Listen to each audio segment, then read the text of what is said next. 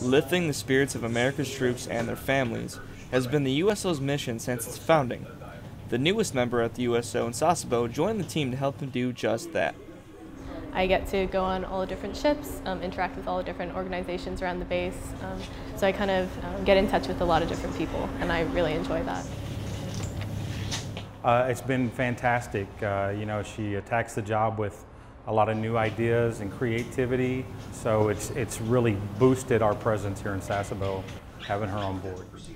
By doing everything from keeping the facility clean to organizing base-wide events, Minakami is becoming an integral part of the USO's goal to raise the morale of service members and their families. Petty Officer Nicholas Vickery, Fleet Activities, Sasebo, Japan.